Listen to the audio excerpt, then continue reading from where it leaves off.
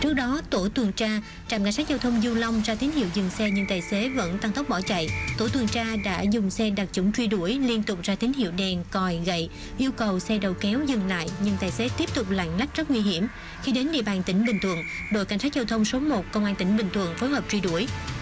Xe đầu kéo chạy được hơn 40 km đến xã Phú Lạc huyện Tuy Phong thì tài xế tấp xe vào lề, khóa cửa xe, bỏ vào quán uống nước. Lực lượng cảnh sát giao thông sau hơn 30 phút yêu cầu lái xe xuất trình giấy tờ bất thành cho đến khi lực lượng công an huyện đến tăng cường, lái xe mới chấp hành.